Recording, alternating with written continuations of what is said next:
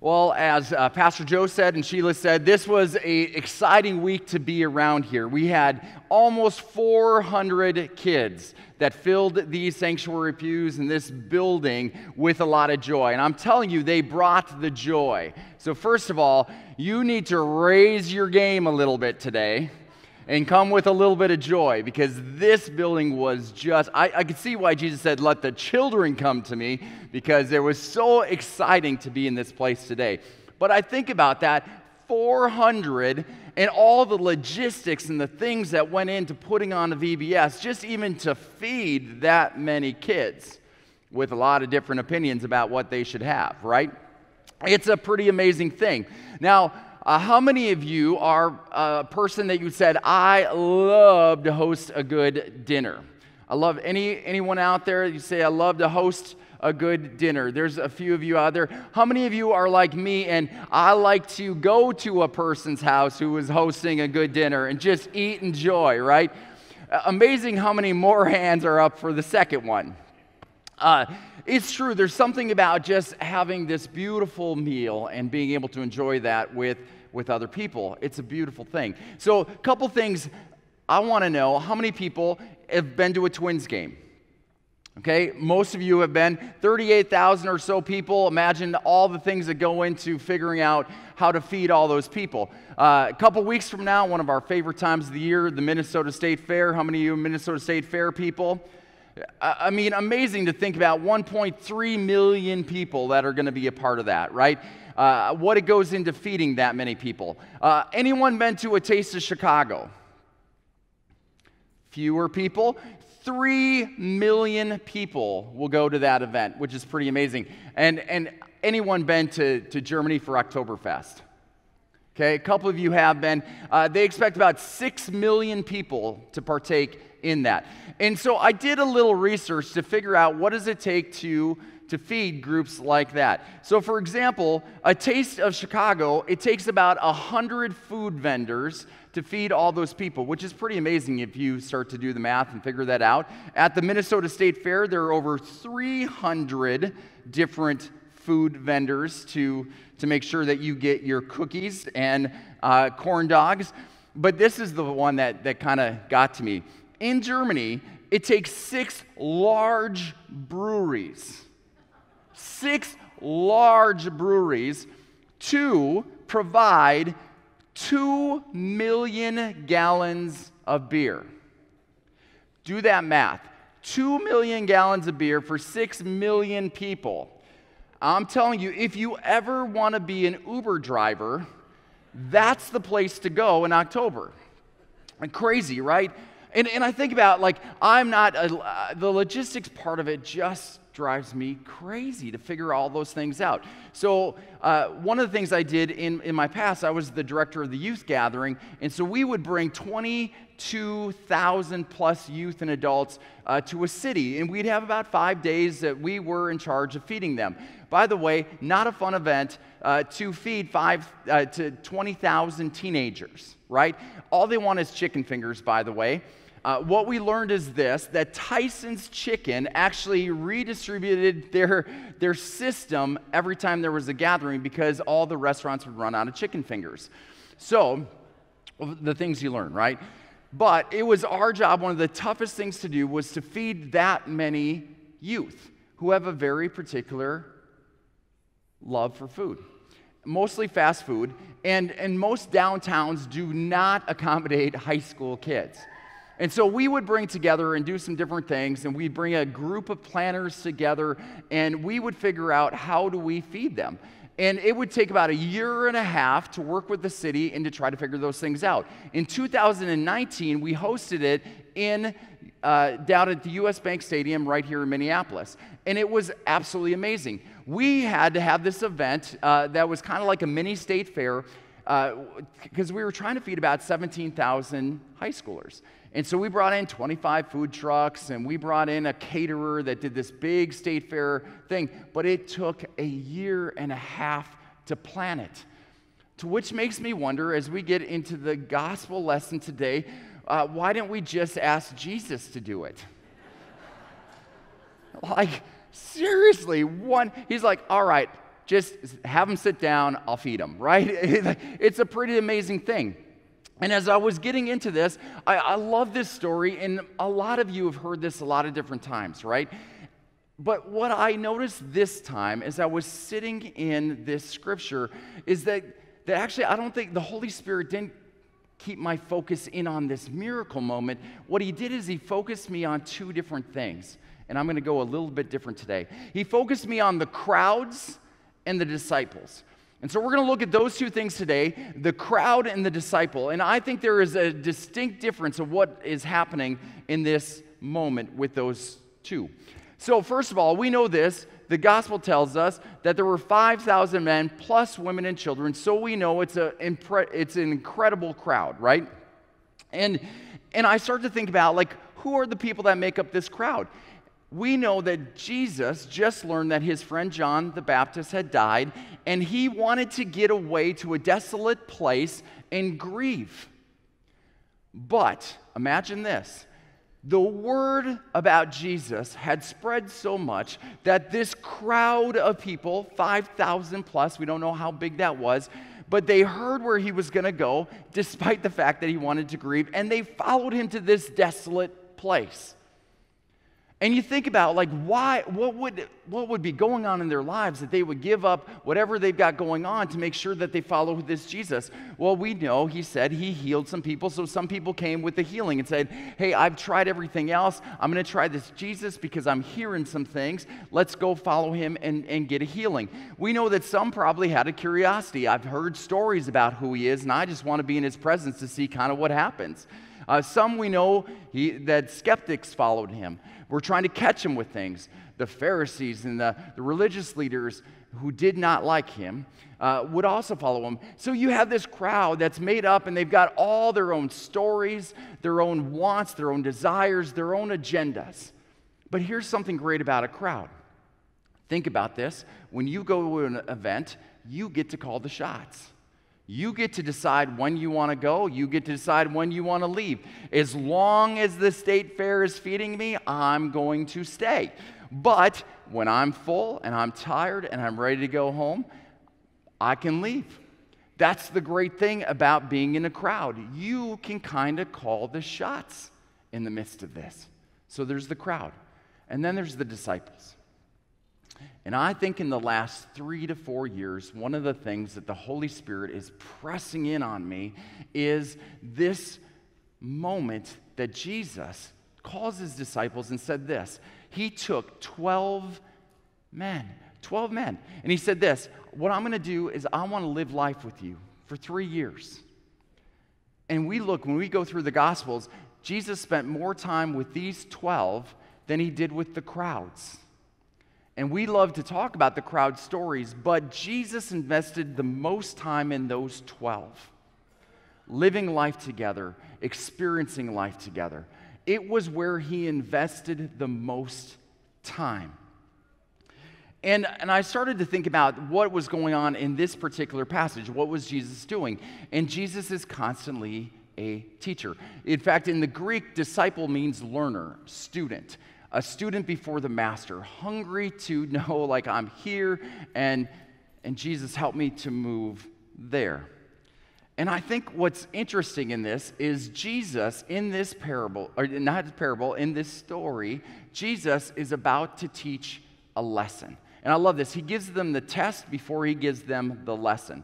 And in John, it says this it says that Jesus already knew what he was going to do before he asked them this question. That's an important thing, right? Like, I know where I'm going to go, I know what I'm going to do, but I want to see how they react because as a student, I'm going to give you the, I'm going to give you a test, and then we're going to teach. And so he says, Hey, by the way, we've, uh, there's a lot of people here. What should we do? And I love what the disciples say because I think I would do the same thing. Wow, that's a lot of people. This is a desolate place. I mean, this is this is a uh, Sunday and we only have a Chick-fil-A in town, right? We just there's not a lot of options here, Jesus, right? And so he says this in verse 15. He says, Well, what are we going to do? And the disciples say, Send them away. Send them away. Let them go figure it out on their own. Uh, I, we just don't have the resources to do that. And, and isn't that typical, right? Like, I, I, it's not my problem. It's not, feeding these people is not my issue. That's not on my task to do today. Let them go figure it out on their own. And I love what Jesus says. I love what Jesus says next in verse 16 and 16 and 18. He says, actually, what I'm doing is I'm bringing you to focusing on yourself, to focusing on other people. That that actually is a part of walking with me is i want you to be focused not on it's not my problem to i want to have a heart for these people.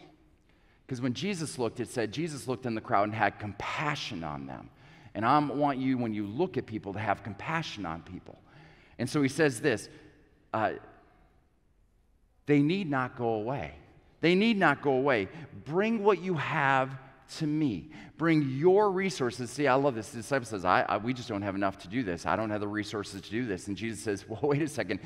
It's not about what you can do, it's about what I can do. Bring your resources and put them in my hands and see what happens. And, and I love what happens next. In verse 20, it says this that all ate and were satisfied. So think about this. You have the crowd and you have the disciples, right? All ate and all were satisfied. Both groups got to experience the beauty of that moment. But, but, the disciples got to experience something that the crowds didn't get to experience. And what they got to experience, and you don't get this in the English translation, if you go into the Greek, I love it. There's one word that the Greek uses that just doesn't come out in the English, and it's this word, parasio. When Jesus describes this moment, he says this. And now imagine this. Just take for a moment what, what happens, right? You take these five loaves and these two fish and you bring before Jesus. And I don't know what happened in that moment for this miraculous thing, but as he sits them down, imagine this 12 disciples he has, right? And, and so you, you can't just pass out for 5,000 plus people in one single thing, right? So imagine what the disciples must have been thinking as they, they went and they got some stuff and then they, they went and passed out and they had to go back and they get some stuff and pass it out to more people. Can you imagine what they were thinking in this moment going, well, wait a second. Do you, do you know, was there other bread and fish that were here? Like, there had to be the moment of going, oh my, who is this that can do something like this? We know it wasn't the first time, but who is this that can take five loaves and two fish and provide. But what I really love what Jesus does next is he says this I want you to take baskets and I want you to pick up what's left over. And I think he did that because he was teaching each of them an important kingdom principle. And it's this principle of parasio. It's this element that says, parasio says exceedingly more. It's this thing of abundance. See, that's what happens when you put your resources in kingdom hands is a parasio, an exceedingly more opportunity that happens in the midst of that. And as they're picking it up, I, I got to imagine they're thinking, oh my word, you know what? In the kingdom, in the kingdom, when we start focusing on that, the resources that I have, I end up with more than I started with. That's a kingdom thing. I have more left over than what we started with. And so Jesus is, is, is teaching them in the midst of what does this look like? That's the, that's the parasio of the kingdom. And I, I, one of the things that he was trying to do constantly with his disciples was to say this I am not an event, I am an, I'm a relationship. And I want you to pursue from this event to relationship side. And so I started thinking about this a little bit more in my own walk. Because I think the difference between the crowd and disciple mentality is this, and it's this very important question. The crowd is often focused in on yourself. Like, what's in it for me? It's about myself. And so think about this question for a second. Is, is this a me agenda item or a Jesus agenda item? And if we're honest, so many times when we approach faith, it becomes about me and what I get. That's why it's so easy for people today when something doesn't go right in their church, they just go to and find a church that works for them, right? Because it's about me and my stuff. And my question is before you were to leave that place, is it, is it a you item or is it a Jesus item? There are times that it's a Jesus item where you leave. I would say anytime the church doesn't preach the Word of God, that is a Jesus item. That's not a me item. You leave. I, I would say that with this, right? Like anytime you think, like, we don't preach, we're not preaching the Word, the first thing I would say, get up and leave. Sorry, Joe. Is that probably should, right? That's, that's a Jesus item. That's not a me item. And so you start thinking about like all the questions that we start to have. Is it a me thing or is it a Jesus thing? Is the Jesus thing is about kingdom thinking. And so Jesus is helping them think. Um, a me item is send them away. It's not, it's not my job. And Jesus says, no, a kingdom item is it is yours. I want you to have compassion. I want you to think about them. That is what the kingdom is about. And, and because of this, I, I, I'm just convinced that Jesus the reason why he said in ministry, I am devoting myself to, to 12 people, is because I think when that happens, when you get 10 to 12 people together that's focused on kingdom stuff, on Jesus agenda stuff, what starts to happen is you experience something the crowds don't get to see. You get to experience the parousia of the kingdom. You get to see the way that God moves in a way that only God can move. You get a peek behind the curtain, and you're like, well, wait a second, we just had this, but look what God did with that. You get to see things that most people don't get to see. I love that about VBS this week. When you're behind the scenes, you get to see things that not most people get to see. And we can celebrate, we can try to tell you about it, and you're like, well, that's great. And we let all these kids and stuff like this. But it's amazing the stories that were coming on. I want to encourage you to go and to read some of those things, those God sightings and what God was doing. I mean, the Holy Spirit was working on each of those kids and those leaders here like he was doing something. And I believe he's saying, disciples, when you, when you focus on a relationship with me and you focus on my agenda, I'm going to show you things that only I can show you. And so I started thinking about this. About a year ago, uh, I, I, would say the, the, probably where I have seen God move the most in my life is when in uh, groups that my wife and I have got to walk with, uh, uh, small groups, right? We've had three small groups that we've significantly gotten to walk with in many different ways. And this last year, we, we just felt a little bit convicted and we were in the city that we were in. And we said, you know what? Here, we're going to do something a little different. And we just opened it up to people in the city. And we, we, we kind of sent it out. We had about 43 invites we sent out and said, hey, by the way, uh, my wife and I, most, we don't know you, but we know that, that, you're, uh, that you you have some kind of a loose affiliation with the church that we were at at that time, and we would love just to come together with a group of people and to focus in on Jesus' life and what Jesus was all about. We want to be more and more like Jesus. And we just want a, a, group of people to come alongside of us and pursue that with us. And so here's what we just sent it out, right? And 18 people said yes. 18. We were, we were amazed. And so we got together, we started getting to know each other, and it was a little uncomfortable because most of us didn't really have a clue what was going on. And then we just spent the next year reading the Gospels. We watched the Chosen series and had a lot of different discussions in the midst of it. But what was amazing is I think the parousia of the kingdom started to happen in the midst of that. As this group, uncomfortable as they were, started to focus in on Jesus' agenda, things started to happen. What I love is there was a group of people, all kinds of prayer needs. We started praying for people in our life that didn't know Jesus, and we started to see some things happen in the midst of that. We had people that were walking with people that were that needed healing in their life, and we started praying that God, would you heal them? Would you would you do something that only you could do? And we got to celebrate some of the healing and moments that happened in, into that life we had two people in that group that were struggling with addiction and felt so convicted by it, they said, I got to turn from this. And we got to see them confess and to ask God to help them with that and to surrender from those addictions. And we got to see healing in the midst of that. We saw a marriage in the midst of that that said, you know what? We are not walking in the way that God's calling us to walk in, and we're kind of walking away from each other. That all of a sudden started to walk towards each other. And we saw, as the group said, hey, would would, can you guys come together and can we renew our vows together? We got to experience that in the midst of that. We have one person at the end who did not want to be a part of this group, was, said, Groups are not my thing. Not my thing. Um, but his wife dragged him along. And in the, in the midst of this, what started to happen is he started to see Jesus in a different way. And in two weeks, we are going to go to a local river and we're going to baptize him. There's something beautiful about being in a group of people focused in on Jesus and what Jesus is all about. And I believe the parousia of the kingdom starts to happen.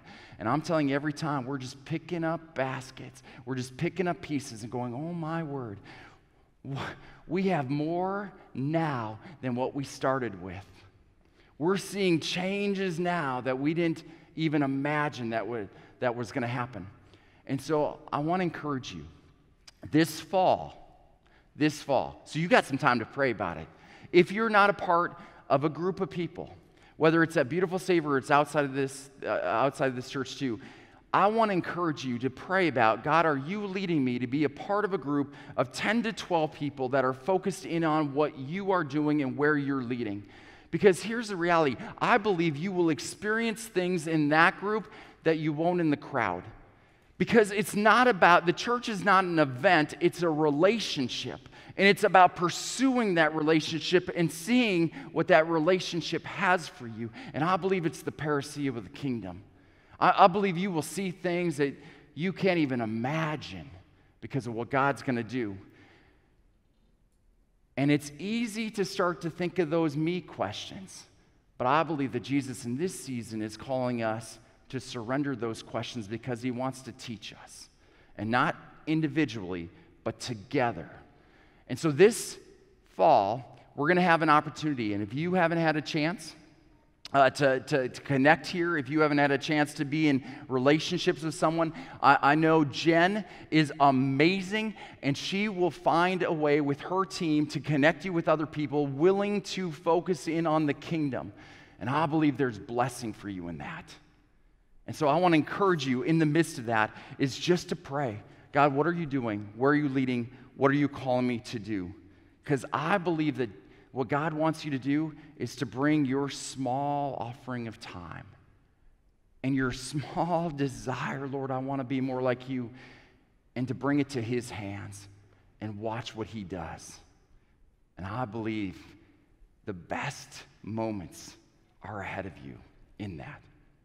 Let's pray about it. Heavenly Father, Lord, uh, we are so grateful for what you can do. Lord, how you can bring such small resources and put them into your hands and do kingdom stuff. God, we see you at work all over the place and help us to stop and to focus on you. Lord, may this be not just something we do and not an event we go to, but Lord, may it be a relationship. And may we grow closer to you because we know, God, in that relationship that that you will speak and you will show us things that only you can show us. Lord, we ask this all in your name and for the sake of your kingdom. And all God's people said, Amen.